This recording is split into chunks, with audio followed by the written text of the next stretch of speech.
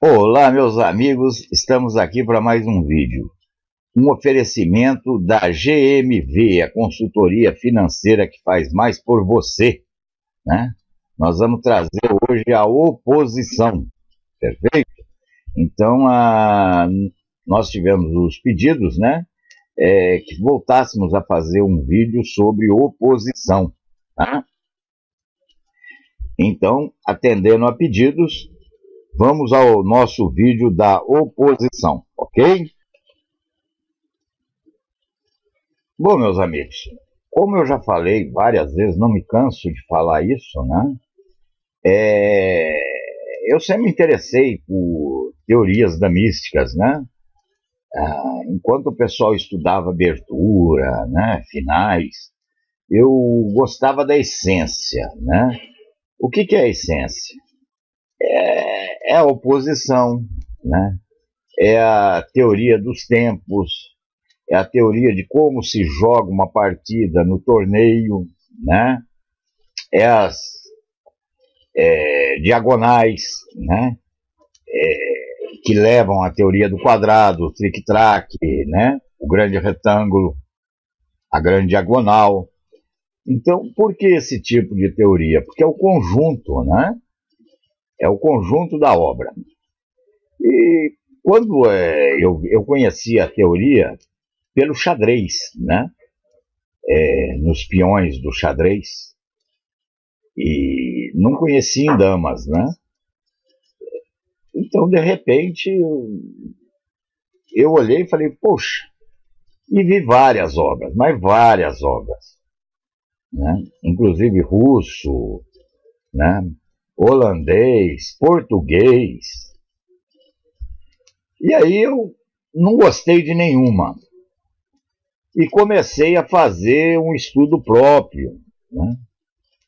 Eu já tinha 80% desse estudo pronto quando eu me deparei com a obra do mestre Ferrinho. Né? Pessoal, eu estou para falar que foi uma das coisas mais perfeitas que eu já vi eu me emocionei, mas me emocionei muito. Eu já falei aqui que eu sou muito emotivo. E me daria até vergonha lançar o material que eu estaria tentando lançar, né? Quem tiver a oportunidade de conseguir a oposição do mestre Ferrinho, eu nunca vi tanta simplicidade e capacidade juntos no mesmo trabalho é de uma simplicidade, de um fácil entendimento, né? E algo assim que só Mestre Ferrinho mesmo conseguiria fazer. Porém, hoje eu até me arrependo de certa forma, que eu não gosto de me arrepender, mas nesse caso, de não ter lançado a minha obra. Por quê? Porque achou falha no do Ferrinho? Não, o Ferrinho continua sendo perfeito. É que depois eu comecei a perceber que existem várias maneiras de você ver a oposição. Né? E eu uso todas essas maneiras, depende é, da posição do tabuleiro. Depende de quantas peças há no tabuleiro. Inclusive, eu uso as casas brancas, né? Que foi a, onde a pessoa me pediu, peço desculpa que eu não consegui localizar a mensagem para saber o nome da pessoa que me falou, que pediu o vídeo, né? É, peço desculpas mesmo, eu sou, todo mundo sabe, eu sou meio é, jurássico aqui, né? Eu me perco. Então, é, eu achei que talvez fosse interessante eu ter lançado a obra naquela, naquela época, né? Porque seria algo assim, numa linguagem mais complexa que a de Ferrinho, né? mas eu acho que acrescentaria sim, né? porque eh, eu conto essa posição de várias maneiras e vou tentar aqui passar para vocês, perfeito? Então veja, o jogo já começa com a oposição. Aqui quem está de posse da oposição são as pretas, ou seja, quem joga perde, né? Quando eu falo perde, o pessoal perde a partida, mestre? Não, perde na oposição. E às vezes é, é necessário você perder na oposição para ganhar a partida. Veja só que como chega a gozado, né? E vocês vão ver que a cada troca, por exemplo, veja, ó, jogou a central, né? Jogou, jogou, jogou aqui, jogou lá. Quando a preta trocar aqui e tomar para trás, a oposição agora é das brancas, né? Então, no caso, pretas jogam e perdem, né?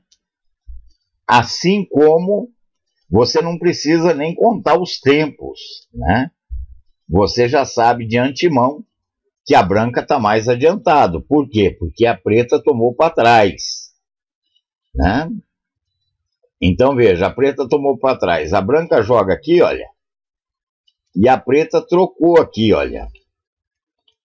Novamente a oposição é, vai estar tá de posse das pretas. Por quê? A partida começou, a oposição favorecia as pretas. Houve uma troca, a oposição muda de lugar, passou para as brancas. Quando faz a segunda troca, que é par, a oposição voltou para as pretas. Né? E agora, aqui, se vocês é, forem ver, de novo, né, a branca, que começa com tempo a mais, a branca vai ter exatamente um, um tempo a mais. Por que isso? Porque a preta trocou uma vez para trás e atrasou, trocou uma vez para frente e adiantou. Então ficou elas por elas, perfeito? Então essa oposição você pode contar de qualquer altura da partida, inclusive da abertura. Eu já teve vários casos, né? que eu levei, igual estou mostrando aqui para vocês, a teoria dos tempos e a teoria e a, e a oposição desde o primeiro lance da partida. Né? Isso depende muito da partida que você estudou, que você pretende jogar. Né? Nem todas as partidas você tem, ou, ou melhor, é rara a partida que você é, há a necessidade, eu nem sei se tem essa necessidade, de você ir desde o primeiro lance, né? Então vamos voltar à oposição mais simples agora. Eu gosto de pegar esses extremos é, para que a pessoa pense e pensando entenda melhor, né? Então vamos lá. Vamos ver primeiro o uso da Casa Branca.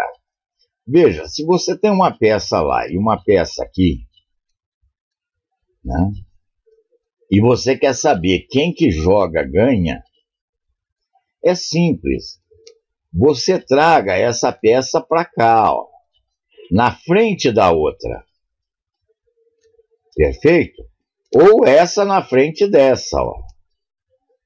Mentalmente você leva essa peça. Bom, caiu na mesma direção. Se ela caiu em casa branca e uma em casa preta, quem, quem joga ganha.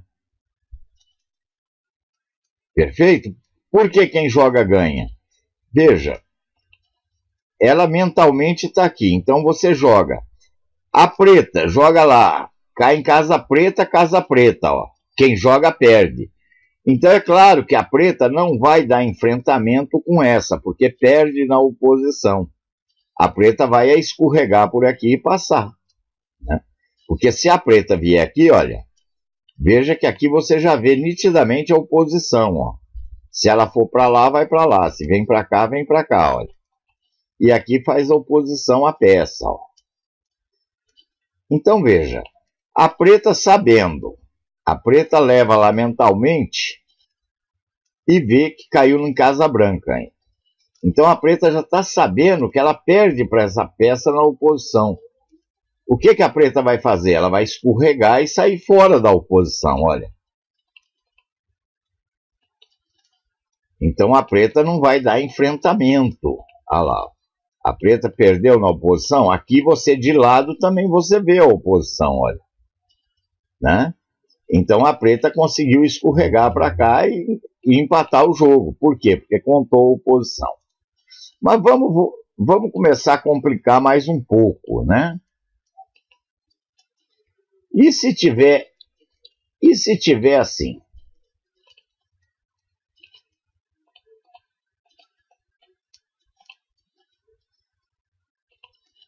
E se tiver assim?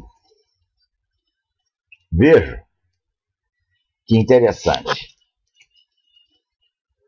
Se tiver assim, você pode fazer da seguinte forma: você vai trazer essa peça aqui mentalmente, vai cair em Casa Branca, ela vai estar na mesma direção dessa daqui.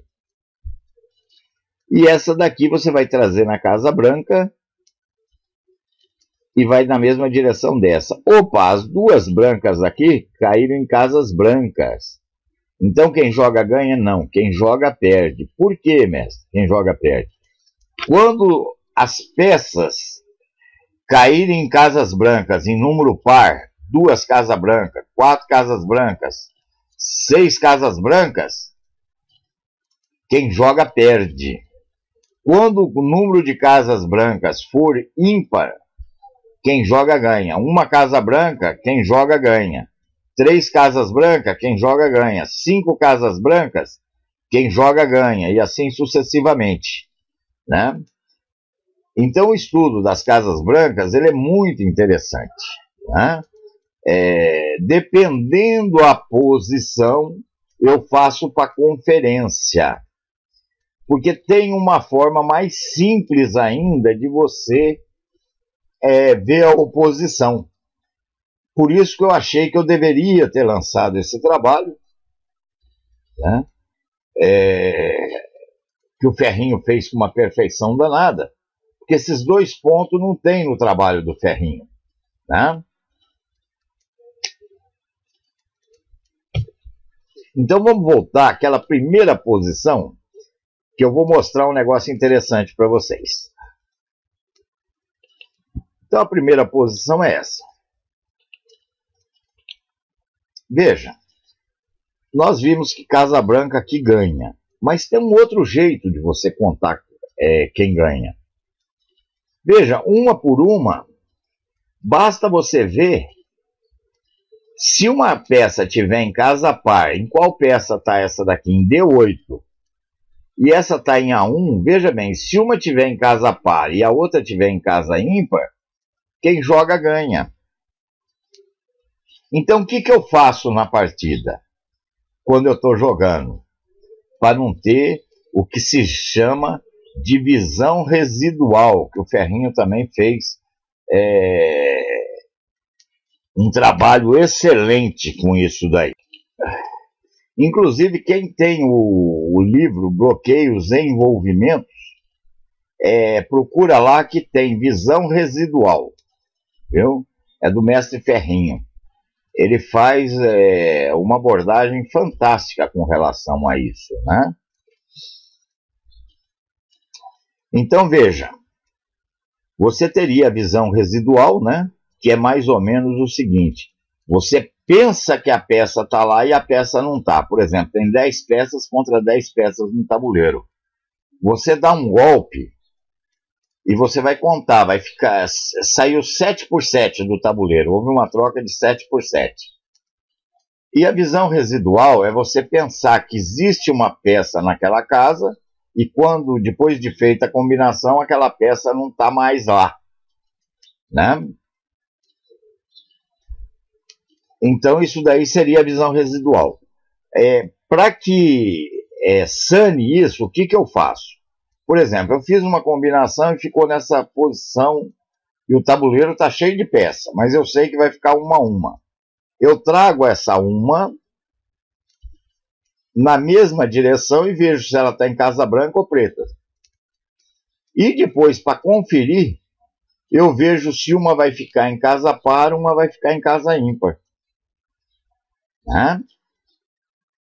Então veja, você já tem dois modos aí é, de, de contar a oposição.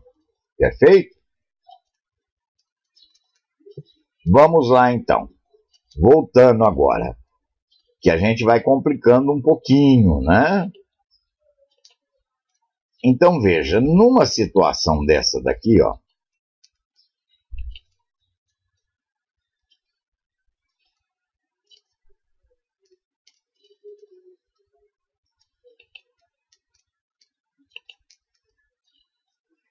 Quem, jo Opa!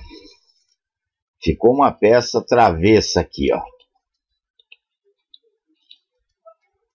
Esqueci de tirar a peça aqui, senão claro que branca ganha. Então veja, aqui nessa daqui, a, a branca é... A preta está de posse da oposição, né? Então, se você trouxer essa peça para cá, branca joga e perde. Então, essa está fazendo oposição a essa e essa está fazendo oposição a essa. Muito bem. Só que como nós temos duas peças, é o que eu falei na abertura central, veja, uma troca... Opa! O duro é eu com essas atrapalhadas aqui, né? Então, eu me atrapalho aqui direto nessas coisas aqui. Desculpa aí, pessoal. Então, veja, uma simples troca, ela inverte a oposição. Por quê? Veja, a branca não vai andar uma casa, ela vai andar duas casas. Né? Então ela anda duas casas e ela vai fazer oposição àquela, porque quando troca, inverte a oposição. Perfeito? Então veja bem. Aqui, a mesma posição. Vamos trocar e fazer a mesma oposição. Só que agora nós vamos pôr uma peça aqui e uma peça lá. Ó. Até esses dias eu perdi essa posição aqui é, jogando. O rapaz viu essa posição com uns 10 lances de antecedência e numa velocidade danada. E ele é seguidor aqui do canal. Né? Então veja, Aqui aconteceu algo que me deixou com a cabeça quente, depois eu descobri o que, que era. Né? Então veja, nessa posição você traz a, a branca aqui, para ficar. Então deu casa preta. Ó. Aqui casa preta. E você traz aqui casa preta. Né? É claro que a oposição aí, é, ela tá com as pretas, né? Quem joga perde. Porém, porém, tem a troca. E quando se troca, veja bem, olha. Está na oposição, né? E essa vem casa preta, com casa preta quem joga perde. Né? Quem joga perde, no caso. Só que aqui, as duas peças se safam da oposição. Por quê? Porque joga lá, Aí joga aqui, ó. Aí joga lá e aí joga aqui. Joga, veja, ganhou na oposição. Oposição você pode ver assim também, olha. Perfeito? Na horizontal, né? E aqui, ó. Então essa está se opondo a essa, né? E essa está se opondo a essa, ó. Essa branca com essa e essa branca com essa. Só que aqui, quando a preta sacrifica aqui, olha, e joga, a preta passou, escorregou, e não adianta dar para trás. Que vai dar empate, ó. E a preta consegue se safar, mesmo tendo perdido na oposição. Por que, que essa posição ela me deixou encabulado? Porque uma troca ela muda a oposição de lugar. Duas trocas, ela volta à oposição com quem estava. E três trocas, muda de novo a oposição. Então, qual que é o ganho aqui? Você joga para lá, olha. E aqui vem uma outra teoria. Quando você joga para lá, se ele jogar aqui para o canto, ó, você simplesmente troca lá, inverte a oposição e está ganho. Você inverte a oposição e está ganho. Porém, se ele joga aqui e você inverte a oposição lá, você vai cair naquela mesma posição, olha. Aí você cai nessa posição que nós já vimos. Muito bem. Então você joga aqui. Quando ele. Aí ele não joga lá, ele joga aqui. Se você trocar, empata. Porém, quando você faz isso, olha, e troca lá, uma troca dupla não deveria inverter a oposição, porque aqui você está tomando duas, olha. Não deveria inverter a oposição, mas a oposição foi invertida. Vamos voltar lá. Veja, aqui a oposição está com as pretas, que eu mentalmente trago essa aqui, mentalmente trago lá, tudo em casa preta, quem joga perde. Então a branca jogou. Quando a preta vem, se você faz uma troca, você inverte. Mas com troca dupla, a oposição deveria continuar com as pretas. E por que, que mudou? Simples, porque aqui também conta como troca. Ó. Aqui também conta, conta como troca. Então são, na realidade, três. Ó. Tomou uma, né? tomou duas e três. Então, três inverte também a oposição. Perfeito? O Ferrinho, no livro dele, tem outra coisa também que me esquentou muito a cabeça na época. É, ele fala o seguinte: que a troca muda a oposição, mas que algumas trocas não. Né? Então, por exemplo, uma posição dessa daqui, olha.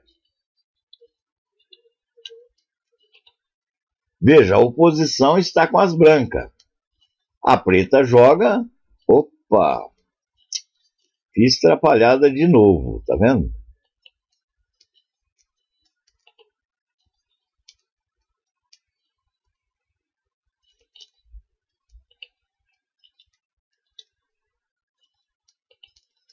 Então veja, a oposição aqui é claro que está com, com as brancas. As brancas jogam e a preta tá, é, a branca fica com oposição, olha, essa se opõe a essa e essa se opõe a essa. Aí o Ferrinho fala que não sabe por quê que com essa troca não inverte a oposição. E ele chama isso de trocas paralelas, né? Então veja, vem, trocou, tomou e tomou. Eu achei muito bacana até o termo dele, trocas paralelas. Mas por que que não inverte a oposição? Esse era o meu, o meu grande X da questão. Porque há duas trocas na realidade. Veja, a preta tomou de um lado, a branca tomou do outro. Então são duas trocas. E duas trocas mantêm a oposição. A mesma coisa seria aqui, olha. A mesma coisa seria aqui.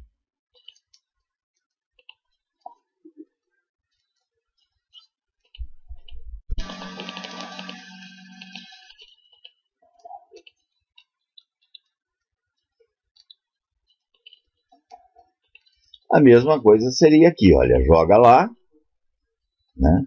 Quando entra, dá lá, olha. Então tomou uma vez e tomou duas vezes, e a oposição continua com a branca. E finalmente, vamos pegar uma posição mais é, complexa, né? É, para ver se eu consigo passar para vocês a questão das casas brancas, né? Deixa eu pegar uma posição qualquer aqui.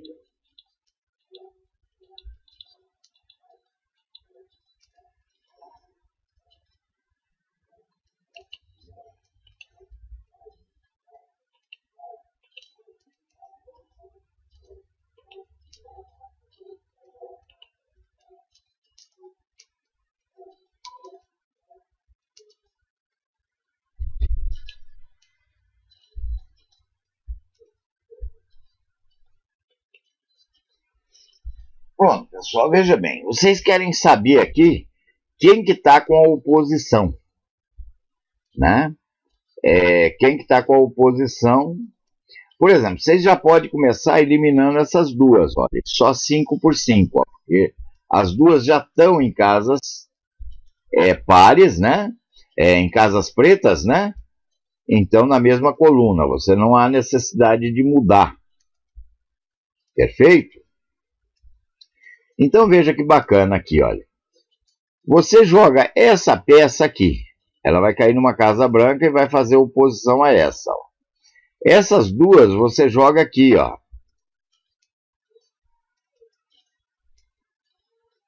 Perfeito?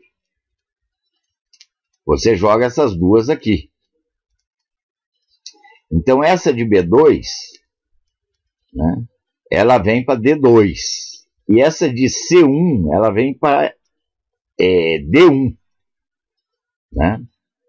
E essas duas aqui, olha, veja, aqui não tem duas peças, você vai jogar as duas aqui, joga uma em cima da outra, não tem problema, você vai ter duas peças em casas branca. Né? Então veja, quantas peças em casas brancas você vai ter? Ó? Uma, duas, três. Né? E essa de B2 vem para D2. Então, três peças brancas. Então, quem está com a oposição?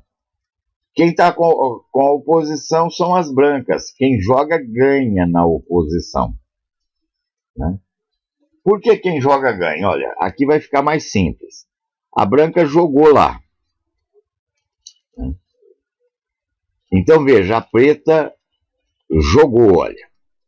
O que, que vai acontecer? Agora já ficou mais fácil olhar a oposição, porque você elimina essa também. Ó. Então você eliminou essa, eliminou essa. Veja, essa daqui você joga para cá, ó, de B2 para D2, elimina aquelas duas também, ó. Essa elimina essa, fica essa e essa, ó. Só ficou uma peça. Então essa branca vem para cá, só deu uma casa branca. Então, é... uma casa branca, quem joga está com oposição. Por que isso? Porque a branca joga lá, olha, agora ficou fácil vocês verem, ó. Essa com essa, essa com essa, essa de B2 vem para D2, fica duas por duas, uma por uma e uma por uma. Então, é, você tem tudo casa é, preta agora, né? E você pode conferir, você pode conferir isso da seguinte forma. Como que você pode conferir essa oposição? 8 com 8, 16. Estão nas casas 8, né? 8 com 8, 16 com 7, 23, 30, 36, 42. Então você tem lá 42, deu número par. E aqui você deu, tem ó, uma, duas, três, com dois, cinco, oito, onze. Deu número ímpar. Número ímpar com número par, quem joga ganha. Né? Quem joga ganha não a partida, pessoal. Quem joga está com a oposição. É melhor usar esse termo, né? Então, quem joga está de posse da oposição. O que, que significa isso? Que as pretas, ficarem com a oposição, tem que ter uma troca. Então, a branca jogou, olha. A preta trocou, agora a preta é que está de posse da oposição. Como que você sabe disso? É simples, olha você traz a peça é, em cima. Olha, essa de A3 vem para C3. Já elimina essas duas aqui, olha. Essa de B2 vem para F2. Já elimina uma aqui, ó. Então fica só duas. Você traz a de G1 para F1, né? Então veja, olha, aqui você trouxe, anulou. Aqui você trouxe, anulou aquela também. Aqui você trouxe essa e essa. Então vai dar duplicidade de casa branca, duas casas brancas. Se você não quiser fazer essa confusão de casas brancas, o que, que você faz? Você joga essa nessa casa branca, essa nessa casa branca, essa aqui na casa preta e essa na casa preta. Então você vai ter duas casas brancas. Obviamente, duas casas brancas. É, quem joga é o outro que está com a oposição. Né? Então as pretas estariam com a oposição. E agora, se você contar também, ó, 8, 16, 23, 29, 33. 33. E aqui você conta 1, 2, 3, 5, 8. 33 com 8, 41. Né? Quando a branca jogar, vai dar 42. Perfeito? Então veja, a branca jogou. Ó. Veja que aqui você tem as quatro que se matam na oposição. E aqui você vai cair em Casa Branca e Casa Branca. E Casa Branca aqui também. Então quem joga ganha na oposição. Então veja, ó, a preta jogou. A branca jogou lá, olha, começou a ficar mais fácil. Ó. Essa elimina essa, essa elimina essa, essas duas elimina essas duas, fica aquela contra essa. Ó. Né? Então, o que, que vai acontecer? Casa Preta, né? É Casa Preta com Casa Preta, olha. Né? Então, veja, olha, jogou lá, olha. Aliás, Casa Preta com Casa Branca, né? Então, quando joga lá, ficou mais fácil agora. Ó. Se você jogar A3 mentalmente para E3, essas C1 e C3 anula C5 e C7. A3 você joga mentalmente para E3, essas duas se anulam. Ó. E1 e E3 anula E5 e E7. Fica F8 contra F2. Quem joga perde. Então o que, que a branca precisa? Fazer troca. Então a branca vai jogar, a preta joga e a branca jogou lá, olha. A preta jogou e a branca trocou. Ó. E agora a oposição, com quem que tá, olha? Essa elimina essa. Né? É vez da preta de jogar. Então, se você jogar aqui, olha, uma casa branca e duas casas brancas. Quem joga perde. Ué, mestre, mas por que que houve a troca e a oposição continua com as brancas? Veja, não houve uma troca. Veja, houve duas trocas, olha.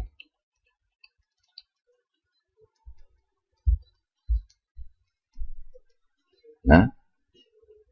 Houve duas trocas? Não, não houve duas trocas. Vamos voltar lá.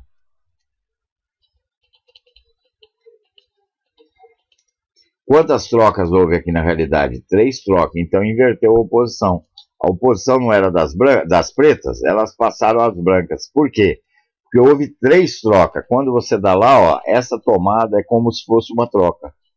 E essa tomada dupla é como se fosse duas trocas. Então veja, essa e essa se anula. Você traz essa para frente dessa e essa para frente dessa. Deu duas casas brancas. Duas casas brancas, quem joga perde. Perde na oposição, não na partida. E claro que a oposição, a posição aqui está melhor para as pretas, né? Então, pessoal, é isso daí é com relação à posição. É, existe é, uma diferença imensa, né? É, da forma de eu explicar e como o Ferrinho colocou isso, né? A didática do Ferrinho é algo assim fantástico. Até quando eu fazia a coluna de damas é, do Estadão, eu não me esqueço nunca disso é, eu trabalhava com o José Mauro de Vasconcelos, né? E eles falaram o seguinte: eu estava lá no meio do jornalismo nacional que há de melhor, e eles falaram o seguinte para mim: falou, olha, comunicação não é o que você fala, é o que o outro entende. Então, se o outro entendeu errado, você que se comunicou mal, né? Então, é, nem precisam me falar dessa má comunicação, que a gente próprio aqui percebe ah, que a comunicação é, não foi boa, né? Mas é, hoje, até por experiência de vida, a gente acha o seguinte: se você não consegue dar o que há de melhor, dê o melhor de você, pelo menos, né?